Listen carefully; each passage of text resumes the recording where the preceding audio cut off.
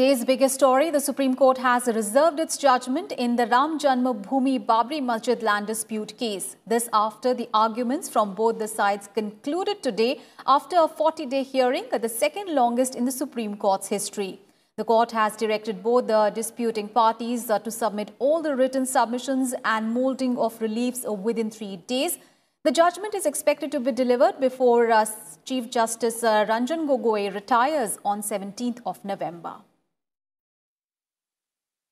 The Supreme Court has reserved its order on Ayodhya land dispute case after concluding the daily hearings held over 40 days. The apex court has now directed the concerned parties to submit written submissions in three days.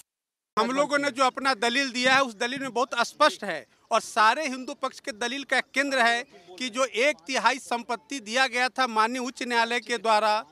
मुस्लिम पक्ष को वह गलत निर्णय था वह किस तरह से गलत था कानूनी तौर पर उस निर्णय को सही नहीं ठहराया जा सकता है इन सारे मुद्दों पर हिंदू पक्ष ने अपना पक्ष रखा है और हमें इंतज़ार करना होगा कि उस पक्ष को माननीय सर्वोच्च न्यायालय किस तरह से लेती है The five judge constitution bench, headed by Chief Justice Ranjan Gogoi, is expected to deliver the judgment before the CJI's retirement on November 17. फैसला रिज़र्व किया है जजमेंट रिज़र्व किया है कोर्ट ने ये कहा है जो भी पार्टीज़ को अपने रिटर्न सबमिशन देने हैं वो तीन दिन के अंदर अपने रिटर्न सबमिशन दे सकते हैं मोल्डिंग ऑफ़ द रिलीफ पे और कोर्ट ने सारी पार्टीज़ को हेयर करने के बाद आज इस मामले में अपना फैसला सुरक्षित रखा है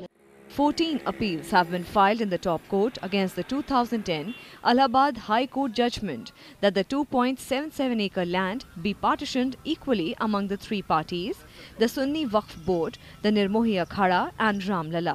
The five-judge constitution bench began day-to-day hearings on August 6th after mediation proceedings by a court-appointed three-member team failed to find an amicable solution to the dispute. The five-judge constitutional bench will conduct in-chamber proceedings on Thursday on the mediation panel's report and will take a call on the way forward.